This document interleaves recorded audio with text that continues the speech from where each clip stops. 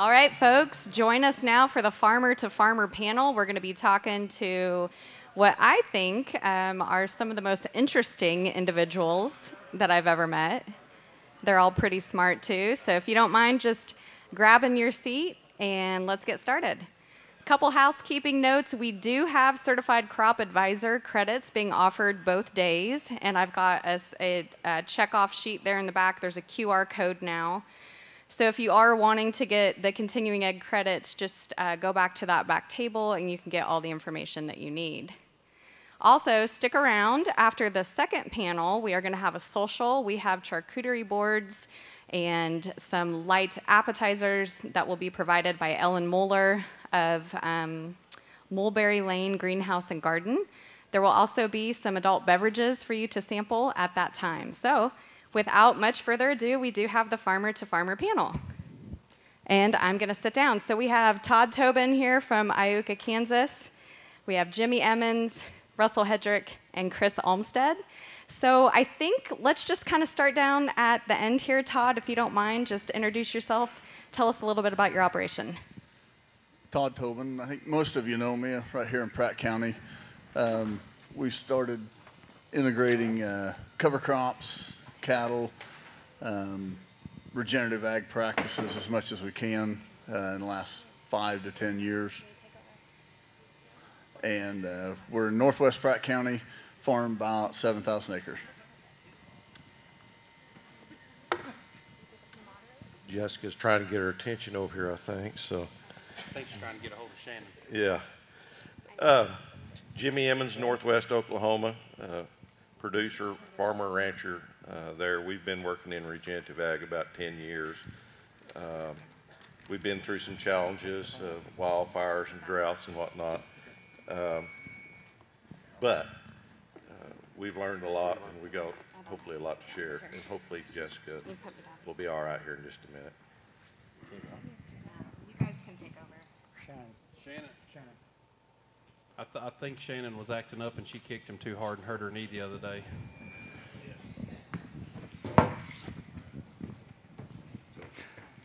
So I'm, I'm Russell. Just talked to y'all a minute ago. As y'all know, I'm not from around here. Um, so on our farm, we haven't used prairie food yet. Um, we are going to be uh, using it this coming year in a lot of our trials. But the one thing that makes me excited about prairie food is we do integrate livestock into our farm, but we can't put it on all our acres because some of our landlords where we lease, they see cattle as a liability. Um, we're hoping that this is going to be a way for us to to bridge that gap and, and bring a manure-based source product uh, onto our ground. And that Haney test that we talked about earlier, we're measuring what they call WEOC or water extractable organic carbon. And it's a, it's a short chain carbon product for us to be able to apply to the ground to help that microbial pool. Chris Olmstead, farm 30 miles west of Wichita, pretty much all no-till. Uh, this is my first year for uh, prairie food. Uh, noticed a significant difference in yield in milo, dryland milo. Uh, we tried on irrigated and dryland beans also. Just think it's the way to go. It increased uh, organic matter quite a bit in just a few months, so we'll see what happens. Any questions from the audience? Hello, I'm Jessica Nadd.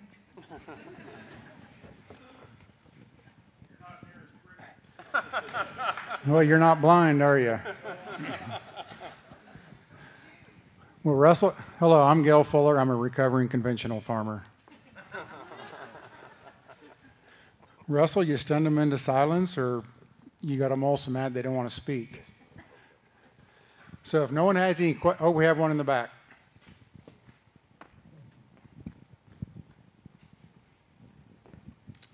So, being in northwest Pratt County or west of Wichita in a dryland situation, you talk a little bit about your experience with cover crops uh, and moisture management in that regard? In, in my case so far, we, we use a lot of moisture probes, and we'll see the same kind of data that uh, Russell alluded to earlier. The cover crops um, will allow us to harvest the rainfall. Our, our rainfall generally comes in big rains in the spring. And we generally, I'll admit, my summer covers, um, we're still playing with those. Um, but that's, that's a whole different breed of, breed of cover. Mine are, are mainly winter covers, and it allows us to harvest that rainfall in the spring.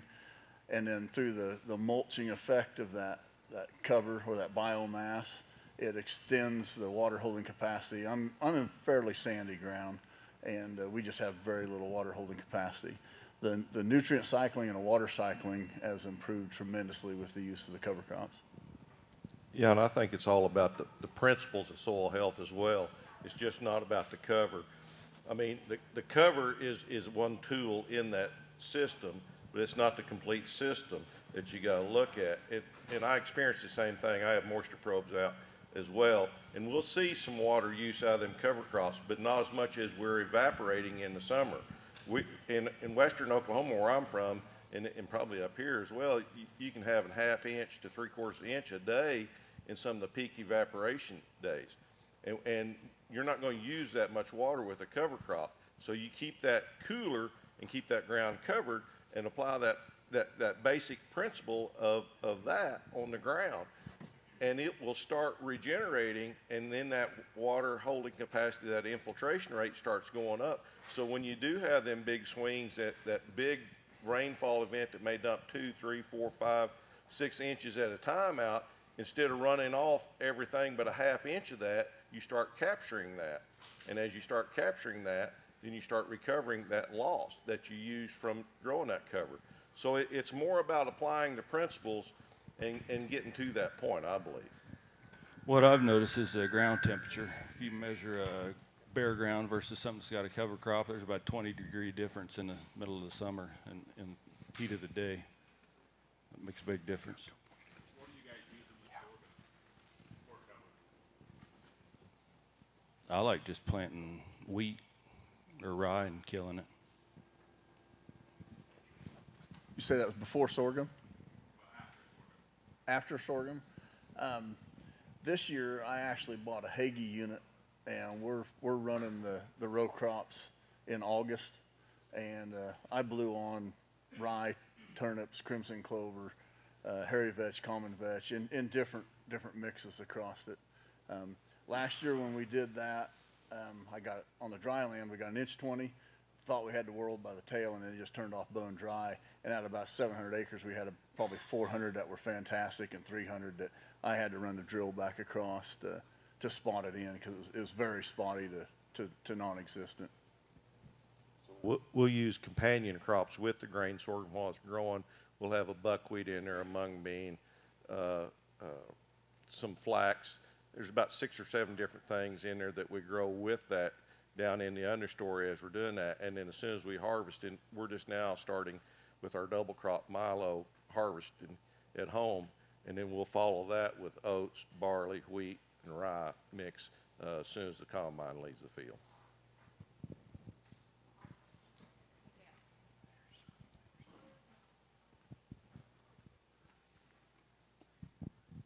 Uh, are you interseeding on that Milo that's to your companion crops?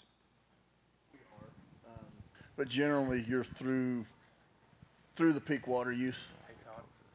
He said, he said get it pretty close. Oh, we're, we're through the peak water use generally when we're interseeding that. Um, and so far, we haven't, haven't gotten slapped on the wrist yet. And rules and regulations are coming down the pike. They're, they're gonna change where interseeding and, and intercropping are, they're gonna be looked at differently. Uh, just the world we live in. There's, there's gonna make changes in crop insurance and FSA rules. So we've done a little of both. In the early years, we drilled uh, on 15s, and then we had our, our mix, our companions on 15s in, in between. Uh, This year, we planted with 30-inch planter, and then we, we cross-drilled uh, the companions in at the same time, uh, following the planter.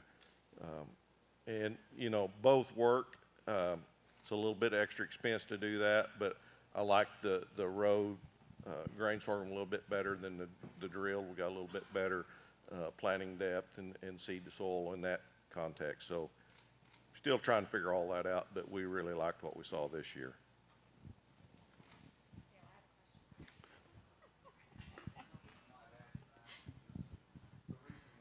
Oh, talking to the. Talking to the add days of uh, grazing to it is the reason we want to go in there in late August, early September and get that established. Then when the combine pulls off, you throw a fence around it and you can start grazing immediately. All right, folks. So I just wanted to provide a little bit of context here. The reason why I asked these gentlemen to join me on the panel today is that we have a good mix of not only operations, we've got a good mix of geography, we've got a good mix of you know annual precipitation, soil type, and so um, we've got this slide here in the back about the five core principles of regenerative agriculture. So my thought here is just to highlight a little bit of the work that each of you are doing on your, your individual farms. And starting with Todd Tobin, um, we've had the honor and pleasure to work with Todd Tobin for close to 20 years. And um, there's been a lot of boots on the ground learning that myself and my husband Shannon have been able to do because of Todd's willingness um, to try new things, to be conservation minded. And that was the reason why I brought Todd on the panel. Also, Todd is at about 7,000 acres, and I had the pleasure of doing an interview with him recently. He has got cover crops now on almost all of those acres, or is it 100%, Todd? It's 100% irrigated and probably 80% um, on existing dryland.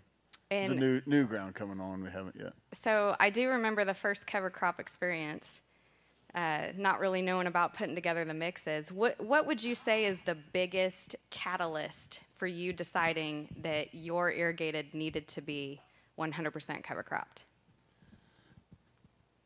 We tried it on a, on a smaller scale. Um, found out we can drastically cut our chemical use um, behind the rye for, for multiple reasons. Uh, getting that mat down, and we don't crimp, um, but getting that mat down and being able to uh, to reduce them input costs. Um, planting green. Uh, I'm, I actually list, went to no-till on the plains several years ago when Jimmy first started talking. And uh, the main, just standing room only everywhere he talked because everybody wanted to go hear the guy that was growing cover crops in an area that gets about 15 inches of rain a year. And that was huge. I don't know why they called it no-till on the plains that year because it should have been more green planting and cover crops. It had really shifted. I hadn't been for a few years, and then uh, it was an eye-opening experience to, to listen to those ideas and, and what other people have been doing around the country. Yeah, so Jimmy, down there in Dewey County, Oklahoma, I call you my farmer rancher friend. And one time I asked you, How do I know if you're a farmer or a rancher? And you told me it depends on which hat you have on that day. And so tell me a little bit about um, when you first started doing this, the word regenerative wasn't really a part of the vocabulary. So, same question along the same lines. What was a catalyst for you to understand that you needed to incorporate what we're talking about here on 100%? So we've been trying no-till since 1995. and once again, Gail mentioned it a while ago, I'm a recovering tillage act, just like Gail. And, you know, that's what we grew up on. And so even though I started no-till and I still had the mindset that I, I needed all the residue gone, it needed to be clean, uh, you know, in the fallow season not a weed growing. And it, it wouldn't work because, you know, extreme heat, uh, lack of moisture, uh, we were evaporating, just like I said a while ago, a lot more water than we ever dreamed we were. Our infiltration rates at that time were about a half inch an hour. Um, and, some of y'all was down at the field this year uh, where we stopped the pivot and, and let it set for two hours, Dot, and we put on seven inches, a little over, run the gauge over for about uh, 30 minutes. Um, and we shut the pivot off and we walked right into the, the pivot, no mud. Uh, and that, that infiltration rate is shot up so that when we have them huge rainfall events now, I like to say I got it all. Uh, and not, not how much I used to have was, you know, I just got a half inch and everything else run off, much like what Russell showed a while ago, uh, and Trish as well, uh, down the stream.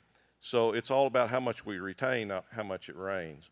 And uh, that, that, them principles, that's the reason they're the key you you can't just do one. It, it, it's kind of like marriage. It, you got to be all in, and, it's a give and take, and, it's working with the system instead of against it. And that's the reason I like companion cropping is it, you got a companion to work with. It's not that it's trying to overtake your cash crop. It's, it's to, to help and assist it. And so we've learned a lot in the last 10 years. And do we have it all figured out? No. Uh, and we probably won't have uh, for several more years because every time we think we got something figured out, six more questions show up that, like, wow, we've never seen that before. Wow, that's a positive benefit. It's like the prairie foods, like when we apply ideas, like, oh my gosh, uh, man, this is something like we've never experienced before. So uh, I think it's an ongoing education, Jess, and, and I don't think we're near there yet. Yeah, so we're going to talk about how to make it rain in a couple more questions. But Russell, your experience is a little bit different. So correct me, you're about 55 inches of annual precipitation, but you, a lot of your total acres is spread out. You have a, a multiple counties that you guys are operating in. And I did an interview with you one time about how you start when you take over new ground. You have a system that you utilize on new ground. Can you talk a little bit about what you do with that new ground system and what lessons you've learned a little bit? Well, so first, your and Ginger's marriage is regenerative, not sustainable. Is that what I'm? You're putting words in my mouth now. I'm I'm just a young man trying to learn. I, just, I didn't know we were getting life lessons again today. Well, after 40 years, uh, you, you got to learn that it's a give and take. So. So. Um, So Jessica's question: um, typical rainfall where I'm at in North Carolina from essentially harvest season when you don't want it to rain until about March, we get about 30 inches of rainfall. So harvest is usually just well, this year corn harvest was the best we've probably had in the 10 years I've been farming. And then beans was just terrible trying to fight the rains. Um, but so we'll get all this winter rain, and if you're lucky, it'll rain in April and May, and then if you're not, it just rains all April, never stops, and then it just drought goes in. We're about 10 days away from a drought in North Carolina. Um, but our annual rainfall should be about 45 inches a year. Uh, 2018, with two hurricanes, we were over 100 inches of rain in annually in Catawba County. Um, we, we literally had houses underwater that year. It was absolutely insane. So when when we pick when we pick up farms, it's typically what other farmers give up. So um, the field you saw in the pictures up there, where we made the 113 bushel soybean yield and the new state record, we picked up that farm because another farmer had leased it for about 10, 15 years, and the resistant weeds on that farm were so bad between mare's tail and pigweed that they couldn't grow a good crop, and they walked away from that lease. Um, and I've got slides about five years after we started farming that farm. Uh, we placed second that year with 86 and a half bushel beans.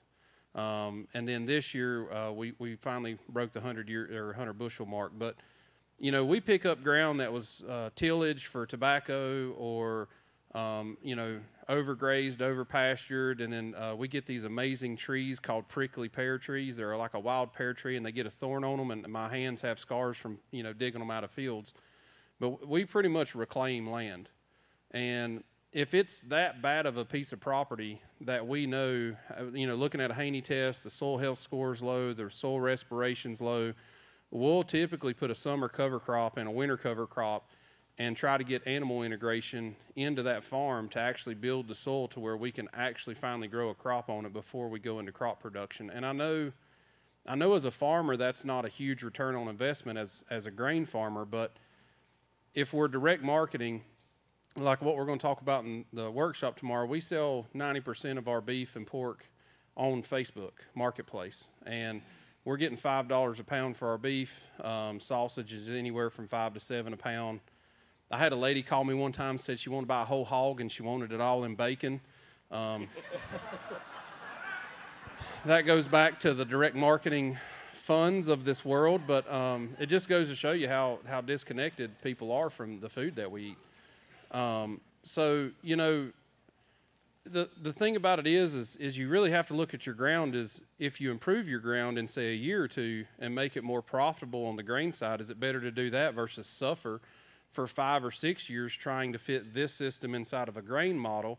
I'd rather take the two years and just, you know, get by on the meat production and then bring it into a really good grain production than trying to suffer for five or six years. And you really got to think outside the box on it. Thanks, Russell. So, Chris, you're up in Nebraska with Olmsted Ag Services, and you're the type of guy who. So Wichita, You're what? west of Wichita. West of Wichita. My notes told me Nebraska. Are you sure? I like the Huskers, but I'm west of Wichita. Well, we'll forgive you for that one. Um, so, Chris, just working on um, adding no-till into the operation. What are some lessons that you've taken for that, and what are you thinking about towards the future? Because um, I've talked a lot with Chan Mazur, who who works with you, um, and and just what are you looking to explore right now as you know maybe that initial step into no-till, and where are you going with the operation?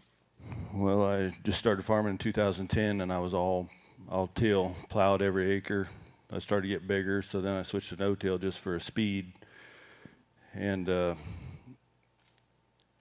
I don't know dealing with Chan. I, I want to cut my fertilizer costs. They just keep going up and up, and I just think it's the way to go. Yeah, so looking at it right now, just as a solution, um, what's what's a big takeaway that you've learned on the how? You know, because I think we hear that a lot. You know, I want to I want to slash the the price, but how are you doing that at this point on the operation?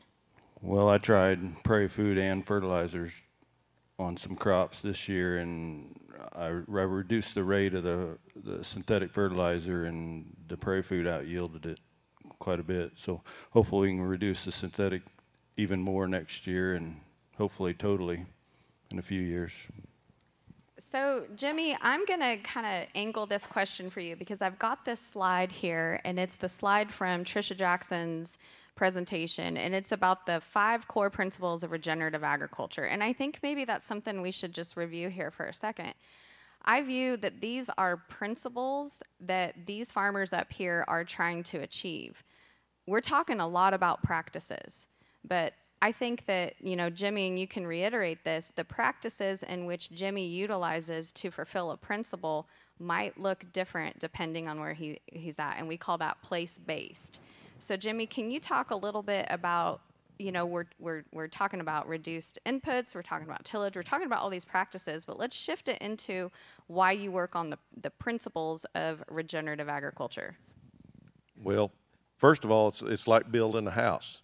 It, it, you, you've got to start with the foundation. You, you got to keep that minimize soil disturbance. You can't, you can't start building the foundation and, and then start breaking it up and, and trying to, to redo it.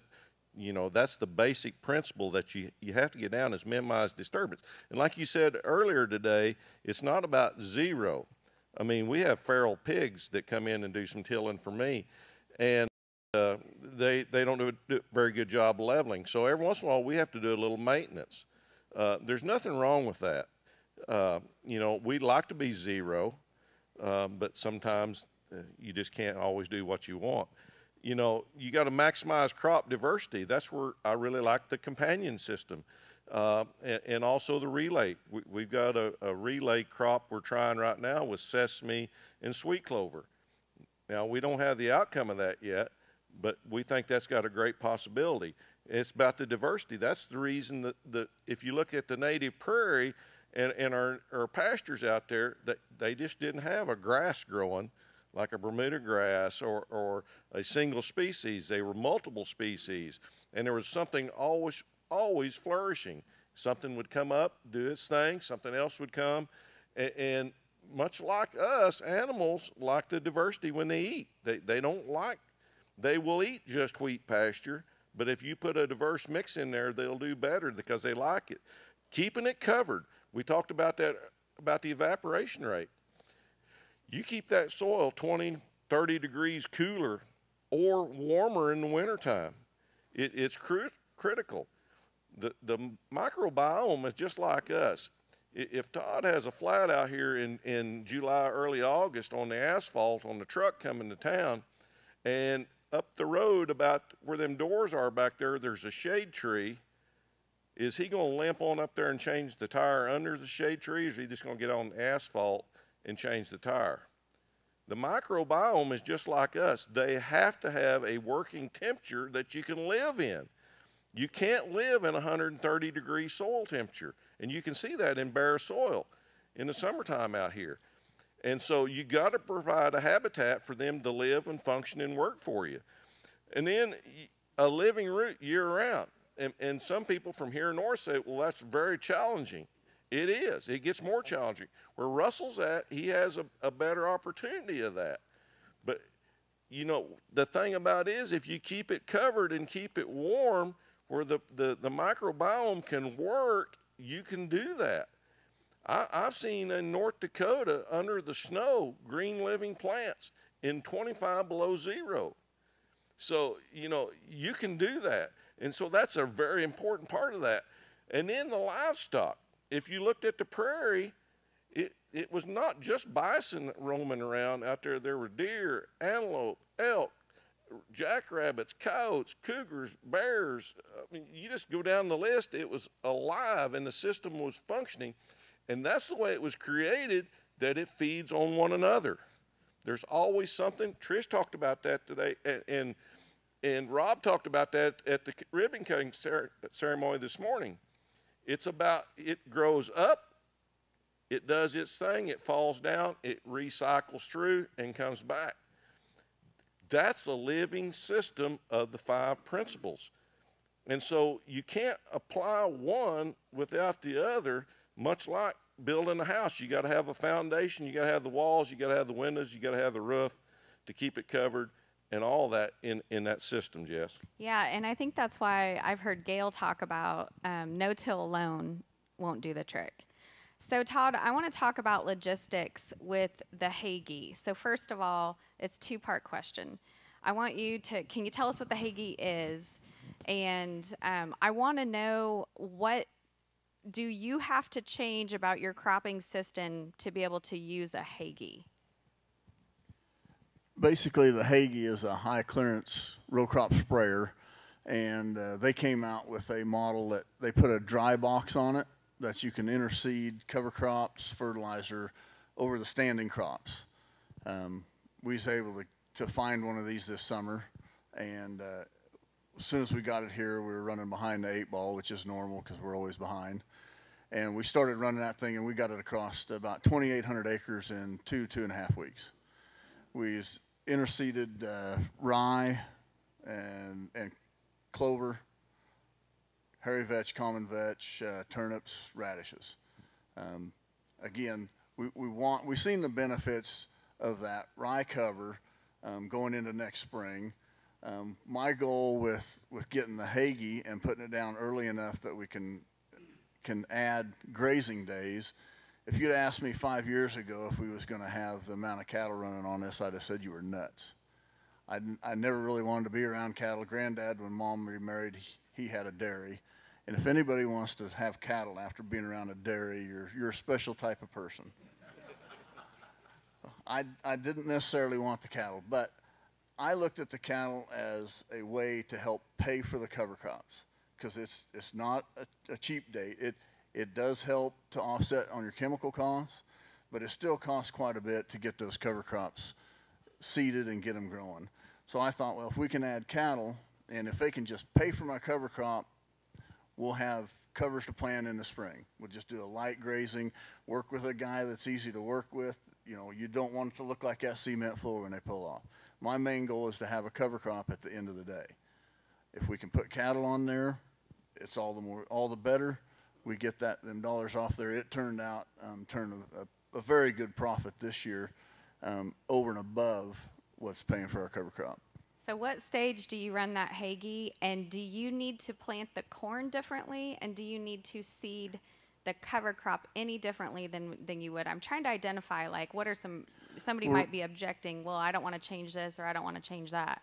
We're running in August, um, second and third week of August in the corn. This year, our corn was the tallest I think I've ever seen it in, in my lifetime. It was a foot into the truss rods. Um, I was a little nervous about breaking corn off. Uh, we didn't. It flexed over. We got along fine with it. As far as changing any other practices, we really don't have to change anything. You can go right in through the corn, the milo. We ended up doing about three circles of milo.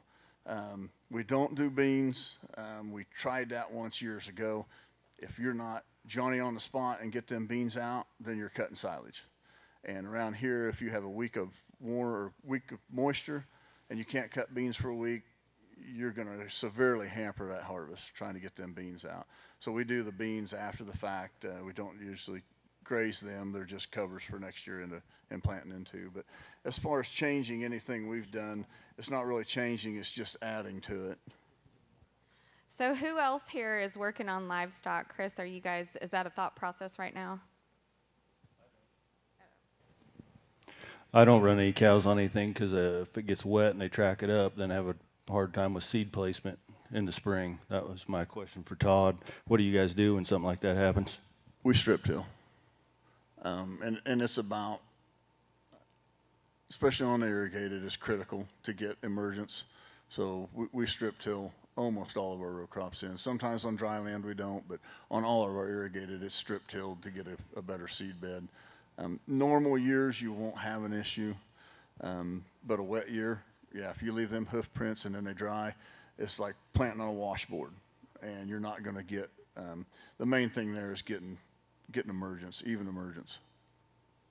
So, so 2018, when we had that 100 inches of rain, um, we always had a plan for sacrifice areas, and I never really understood what that was until that year. Um, but we essentially we we packed the cattle down as tight as we could get them in a corner of a field where we you know essentially ran our equipment in and out and the trucks in and out for harvest, and they they decimated it. And I mean we bale grazed them for almost three months just because of so much rain. So I mean if you're gonna if you're going to in, integrate the livestock component of it, I'd definitely have a plan in place, especially for, for wet weather, because it is a possibility if we get a really wet fall. So having my rancher hat on, uh, we, we have a cow-calf operation at well, so this really integrated very well for us. And, and what we quickly found out was it's all about the residue. And, and the more you got, the less impact you have. Uh, and, and now we do have big rainfall events too. Uh, in 2011, we had seven inches. In 12, we had nine inches. And in 14, we had 25, 24.3 the month of May. So we can have, and I tell everybody our rainfalls give or take the entire rainfall. I mean, if it's 20 inches, we can get 24 inches in one, one month. But what we found is early on, I was so afraid of too much residue. And, and you know, we can't plan in that. We're going to have to strip till. We're going to have to do different things to make this work. But once you get that biological system really going, it, it's hard to feed them enough. And so now the challenge is to grow enough and keep enough cover out there. But really, we don't, where I'm at, we don't have the, the trouble with the compaction unless we get into a big weather event like we did in, in 2014, and you have to have that sacrifice area. But what we found is, and I don't know how yours recovered, but you think you just totally ruined it and it, it will never come back. Mother Nature has this great ability that, that it can heal anything. You just got to give it the proper rest. And it may take longer, uh, just like a wildfire. We were talking about that earlier in the 2018 fire where we got completely burned out, where my friends and neighbors didn't give that range and them, them fields the proper rest, uh, they really suffered. Where we give it the, the proper long-term rest that it needed, uh, it recovered very nicely. But once again, it was all about getting the cover back out there and getting that, everything protected. It wasn't about capturing the first bite of grass that was available, even though we drastically needed that. What's a long-term rest? It, it, it's, it's like, how tired are you? Do, do, do, do, you need an overnight, or have you been harvesting for three days straight and you need days of rest? It depends on the impact. In them big sacrifice areas, it maybe it's a year, maybe it's a year and a half if, if you just totally decimate it. But it, it depends on the situation. It, it's not one thing if you, you take this, if you don't take anything else out of the conference, is you got to understand the, the impact and give it the fair rest for the impact. If you just a little bit of impact, you don't have to have that long a rest. If you decimate it and, and, and just totally destroy it, that looks like it's been tilled, then it's going to need a longer rest. So there's no recipe that, that it's this long. It, it's how big of impact did you have on it a- and, and how well is it recovering? And you, you got to use them eyes. Yeah. Yeah, and it, it's weather dependent, growing season, length of days to the first freeze, all that plays into effect. It, and I know that's not answering your question, but, but that's the way it is. So I'm going to ask one more question, and then uh, we'll send Gail around with the roving microphone. So get your audience questions ready to go. I think one thing that's really important is I don't want to paint a picture of Disneyland farming. And I have said this if you've ever attended any events or any, any forums or webinars that we do, we need to have a whole conference on what went wrong. Okay, because if you're not doing something wrong, then you're not learning. I stole that from Rick Clark. So, what I want to ask you guys, and this is kind of the truth serum right now, is there any one thing that you were just hell bent was the right way to do it, and you were going to do it, and you were going to, you know, be in this space because it was soil health regenerative that just did not work? And Chris, go go for it. Planting rye is a cover crop, and then if it gets too wet and you can't kill it on time, then you got big issues, especially on rented ground. I feel like we could be friends. I'm going to play off of that. So I, th- I think this, um, I think this is a good message for Kansas. Um, the cover crops that I plant in North Carolina will work here, but way, way less rate. So if we're planting 60, 70 pounds in North Carolina, you're probably 15 to 20 pounds in Kansas. And it's all based on water. And my great experience was um, we planted a rye cover crop before beans, and we did it at 60 pounds. Phenomenal results. The next fall, I was like, Shh, 60 was good, 120 is better. Um, so we did these plots all across this field, and we went like 60, 90, 120, and I think we even had 180. And we planted corn into this, and it made good, worse, worse, worse, and like the more we went up in rate. So more is not always the the key concern that you should go after because I think we took almost 100 bushel to the acre yield hit where we had the 120 and 180 pound rye crops. So um, you've you've got three great people that are here in the West. You've got um, Kansas Soil Health Alliance. I know Michael Thompson and some great people are working with them as well. Um, do the same thing I did. I had great mentors that were in North Carolina that came out with a video called Undercover Farmers. Just call these guys up. Like most conventional farmers don't want to talk about what they're doing. Most you know regenerative farmers want to share and help people, and that's the only reason we've had the success we've had is other people willing to share that information. So sometimes you got to swallow a little pride and, and make a phone call and, and see what people are already doing in your area uh, to really see that maximum benefit. So. So, as Todd talk, talked about a little bit a while ago, I started speaking a few years ago, and then people started to ask me uh, to consult or, or help them. I don't know if you've ever heard of Braum's or Braum's Farms, but they've got a huge farm at Shattuck, Oklahoma. And they reached out to me because year before last, it looked like the 30s. It's very sandy, very rolling. I got 158 pivots out there, and it was all blowing and it was terrible. And so I went out there and I told him, I said, you got to get rye planted. When you're going to harvest, either get a Hagie and interseed in that with pivots, or as soon as you get the combine, you got to get it planted. And they and they did that the following year, and man, everything was going fine. And in the spring, I get this call, Jess. It's like, Jimmy, you're going to cost me your job. This is the farm manager out there. We can't plant through this rye.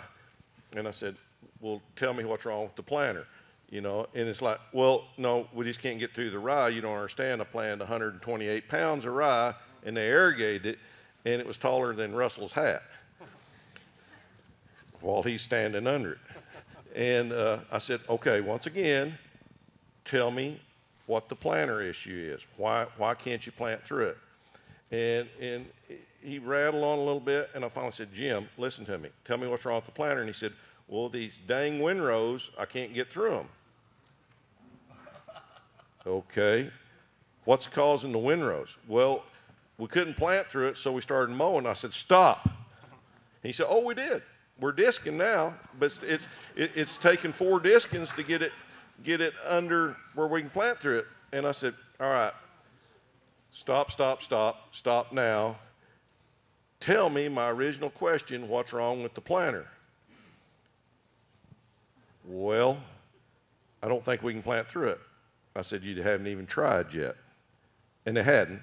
And so I, I, called Russell and I said, Send me some videos of your worst nightmare where you're planting in hat high rye. And I done it. I got another friend in uh, Tennessee, Adam Doherty. He's, and I sent these videos to him. I said, Your planter, it's 92 foot wide, a brand new John Deere they pull with a 600 horsepower tractor. It's quite capable of planting he was out of his comfort zone so far that he didn't even try. Well, in 30 minutes, he called me and he said, You may get me fired, but we're planting. And he sent me this video, and I mean, they're just moving along at five mile an hour as smooth as, as could be going through that. And then he said, Now what do we do? And I said, Well, you need a roller crimper or something. And by the way, they're, they're going to try to stalk devastators. They're, they're in the process of that. But he said, Well, we've got this roller that we prepare alfalfa ground for, and they pulled it. Long story, but here's the short version of it. It worked great. Their e- water efficiency on their irrigation got so much better because they laid all that on the ground. Their weed suppression, their chemical bill went down, and now he's the smartest farm manager Braum's has ever had out there. But it was a, a very big nightmare for me, and I thought it was my biggest failure of sticking yourself out there because when you and they didn't listen to me when I said do small things, leave check strips. You know, they planned 75 pivots to start with, and uh, but now they're all in 100%. So th- there is things that you go through that that that gale we fall back into that with panic mode. Uh, they went back to disking, they went back to mowing. It's like stop, and that, and I, I experienced that myself. The first cover crop I tried to plant in was as tall as my tractor cab in the fall, and I was planting wheat into it. And it's like, I can't do this. I can't do this. It's not going to work. And once again, just like them, I didn't even try. And so I run a vertical tillage over it.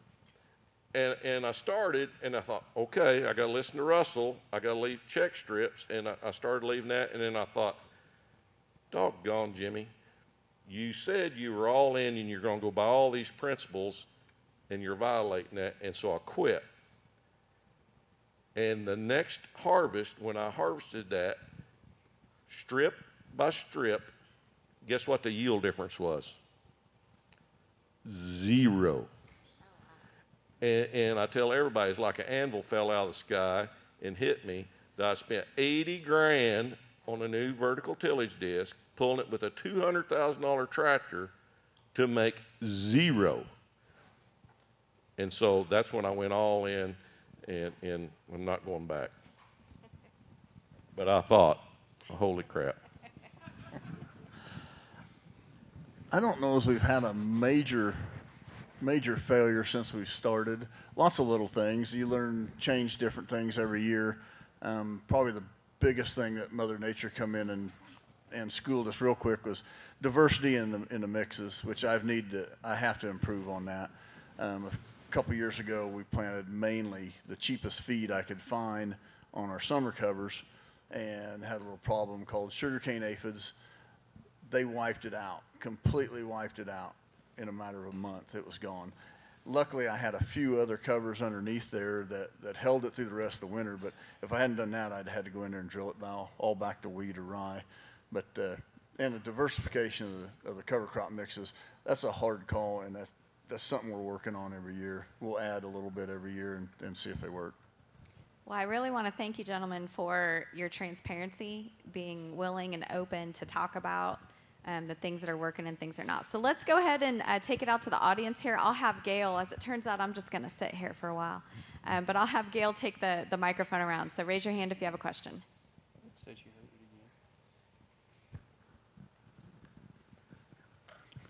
So while I'm headed back there, would it be fair to say that fear of failure leads to failure?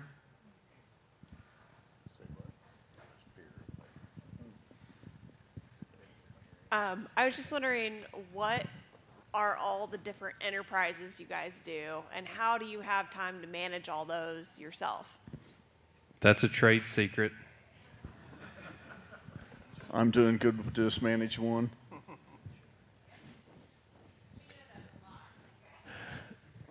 So it, that management side of that is uh, an, another obstacle, and and you can look at an obstacle or an opportunity, and and we chose uh, to go from raising two crops, what we used to do, to up to as many as 14, and then we're harvesting our own animals, selling our own beef, and so there is more marketing side.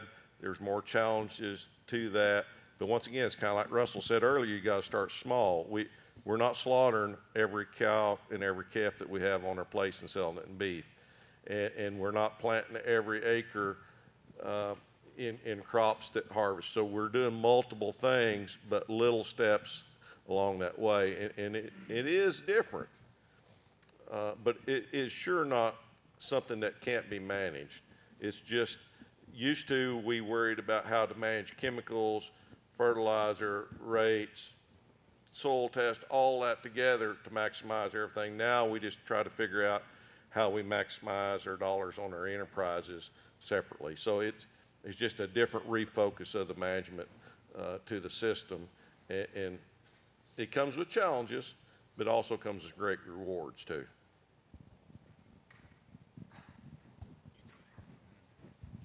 So we've got the farm, the distillery, the new distillery. Uh, we've got a trucking company that helps support the farm to haul equipment, and we've Je- actually me and Jessica. I think we were having bourbon over a Zoom call one day, and we came up with Renegade Livestock. That's our that's our beef production. Um, but, but, like Jimmy said, um, if you're if you're going to go direct to enterprise to consumer, just be prepared to educate the public a lot. Um, because they think we're all trying to kill them. And yeah, yeah. Um, but you know, it, it, really does take a, another step, and an, I mean, sometimes it can be a headache, but at the end of the day, you know, I'm okay with doing that to make more money.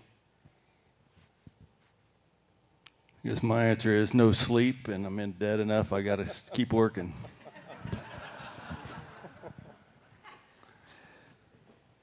You good? Uh, personally, I think this was the best question of the day because I think it's really important for all of us in this room. As conventional farmers, we're tired, we're broke, um, we're missing games, life sucks. And the last thing we need to do is flip our farms to regen, but stay in that damn rut. Because this, this changing the way we farm is, is making us more profitable using less time. We need to be spending that time with kids and family and the community and not renting more ground so we can be millionaires and make up for lost time. It, this is about regenerating ourselves and our families just as much as it is the farm. So, great question. And I was hoping Todd would point out his partnership he has with cattle because we all know he hates cows. I pretty much just have to keep them watered and check a few fences and like I say, we, we've teamed up with, with a great guy to work with all the cattle. And that, that's key also is if you don't want to own the cattle, find somebody to work with. There's a lot of guys out there, and there's, there's uh, points of contact uh, in the regenerative world. It seems like there's, there's conferences and things like this, and everybody's willing to talk about it. Um, it's not, I wouldn't say it's not competitive, but it's not like everybody's close close minded about it, and they'll they'll share their ideas and their failures with you. Todd, you mentioned you got 100% cover crops on your irrigated ground. Has that changed any of your irrigation management practices? How you irrigate, how often, so forth? Severely. It uh, we save a lot of water up front, Um, I don't think we use any more on the tail end than we have, have in the past. We use a lot of moisture probes, um, ET scheduling, still, you know, nothing beats boots in the field with a probe. But, uh, it seems like we can, we use a lot less upfront planting into that green and having that biomass there.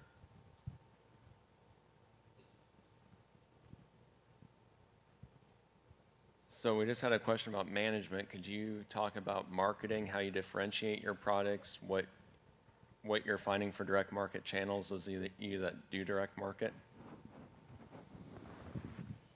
you got to tell a story, and, and you got to tell, you got to convince the person that's interested in buying your product why they need to invest in you in your in your farm, is because that you take care of your soil, you take care of your animals, and just like one of my my friends says, you know, we want our animals to have a great life and one bad day, and and, and that that is so true that that you know, and that's what we experienced during during the wildfire. I, I, I told the story that you know we wanted to protect them cattle just like our kids, and and you got to tell that story that that you're fostering that growth, and and, and it's a system of life, and, and and that's a big challenge as you're marketing your products. Uh, but it's also a very good story. And, and now is the time for that because of supply chain issues out there. There's so much opportunity that people want to know where their food is coming from and is it healthy and is it chemical free and all that other uh, questions that come along. And, and you just got to be truthful, and that's where it takes time. And, and I was telling Russell, you know, you got to put your arm around and say, you got to understand that, that we love this farm, we live here, we, we don't want to do anything to hurt it either. And why would we sell you a product that will hurt you? And so that's, you got to tell your story. And, and as ag, we, we've, we've lacked in that, that we never tell the, the, our true story and put ourselves out there. Uh, and, and when you do, of course, you're in the limelight and you're on the front page there but just be truthful and tell your story and, and they will come. You build it and, and truly they will come. You don't have to do it on your own either. Um, you know, the meat and a lot of the things we, we did in the beginning on our own, and, you know, we just partnered up and we came up with the idea for Regen Mills and Heritage Grain, and that's 18 farmers across 14 states. We have one e commerce site, but that's now 18 farmers voicing to 18 different sets of regional customers, brands, you know, different climates grow different crops, and eh, get a community effort behind it. That's that's probably been the easiest, and, and I know farmers don't typically are not prone to doing that, but uh, take time and, and, and build something together, and it makes it a whole lot easier.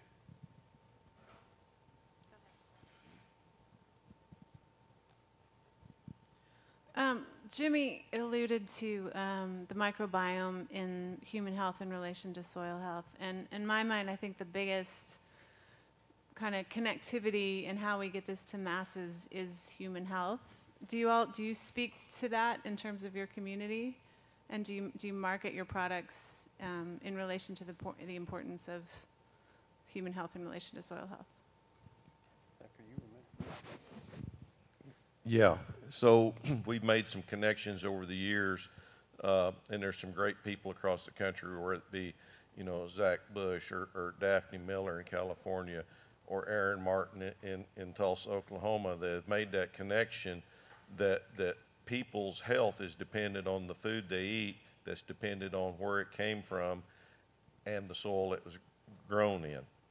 And so, yes, that, that, and that's the reason that, that we just done a podcast together to tell that story. It's all about healthy soils, healthy plants, healthy animals, healthy humans. A- And, and I think that's, that's very critical that we understand a, as a nation, and, and you can look at the numbers however you like to look at them, but the trend of our human health is going this way our soils are going this way as a whole. Not, no, you know, there's several of us that's going the other way, But as a whole, nationwide and worldwide, we're going down, and that correlation is, is just pretty much side by side.